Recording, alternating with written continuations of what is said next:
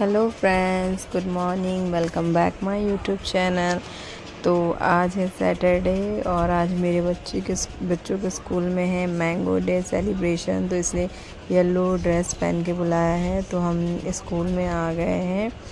तो इधर बच्चे भी आ गए स्कूल में। मेरी, ये मेरी बड़ी बेटी है। तो आज मैंने दोनों ही बच्चों को येलो कलर का ड्रेस पहनाया था।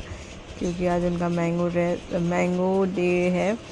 सेलिब्रेशन तो मेरी छोटी बेटी घर से तो बहुत खुशी खुशी स्कूल के लिए निकलती है और स्कूल जाते ही मूड ख़राब हो जाता है। स्कूल से आते ही मैंने यहाँ पे बनानी शुरू कर दी पकौड़ियाँ तैयार करके रख ली है और तेल भी गरम कर लिया है।